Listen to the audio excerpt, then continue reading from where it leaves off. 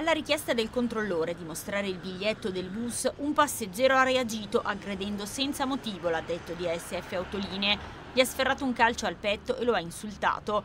È intervenuta la polizia e l'uomo è stato denunciato.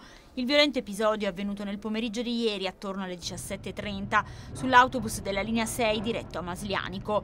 All'altezza di piazza Cavour, il controllore, un 47enne, ha chiesto al passeggero, un uomo di 64 anni residente a Tavernola, di mostrargli il biglietto.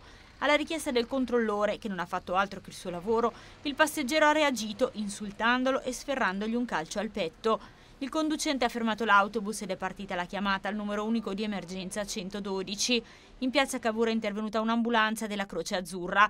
Dopo le prime cure, il controllore non ha voluto essere trasportato in ospedale. Sono arrivati gli agenti della volante della Polizia di Stato di Como e il passeggero è stato portato in questura. Al termine degli accertamenti, il 64enne è stato denunciato a piede libero per lesioni e per il possesso ingiustificato di oggetti atti a offendere. Nel suo zaino gli agenti hanno trovato infatti un grosso cacciavite.